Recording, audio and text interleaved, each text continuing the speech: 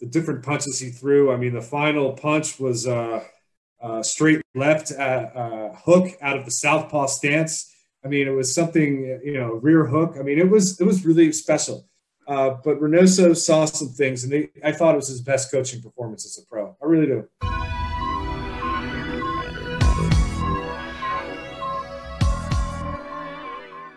I wanted to stick alongside the uh, the top ranked stable uh, for a minute because the 130 pound division has kind of come alive recently. When you think of Valdez's performance against Berchelt and Herring's performance against Frampton, he made that look a lot easier than expected.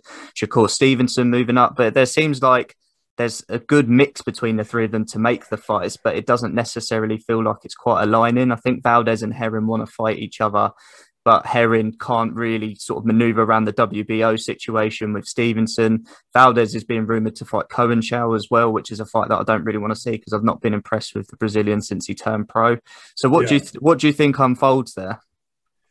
I don't know. It's a question. You know, it, this is going to come down to politics. I think uh, politics within sanctioning bodies, you know, greasing palms, whatever it is. Um, Stevenson was promised the next shot, uh, you know, for a step aside. He has a fight coming up. Um, traditionally, uh, sanctioning bodies uh, have allowed unification fights to come ahead of mandatories, but there's already been a step aside here. So you never know. Boxing makes its rules up as it goes along. So uh, you never know. And the WBO is traditionally extremely close with top rank. So a lot of it will depend on you know, it gets complicated. Listen, uh, Herring is with uh, Brian McIntyre, uh, who has Terence Crawford, and then uh, Stevenson is promoted by J Prince and uh, or managed by J Prince. And there's a lot of heavy hitters on all sides of this. So I couldn't begin to tell you how exactly it's going to shake out. But I agree with you. I would, I think Herring Valdez is a great fight. Uh, I hope we do see that.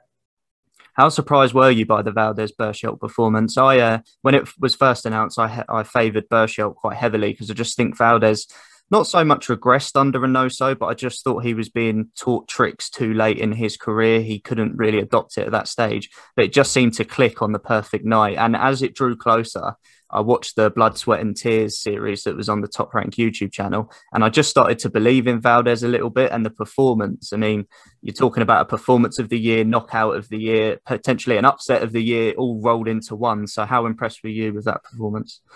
I thought it was incredible. You know, you looked at that fight and you said, okay, Valdez might have an advantage with the light with his left hook, but almost all the other advantages, you know, physical nature, punch volume, you know, knockout record. All, Berchelt had so many advantages on paper, and they found a style uh, with the switching, going in and out, going left to right, uh, lots of different punches, different angles. It was wonderful. I mean, it really was.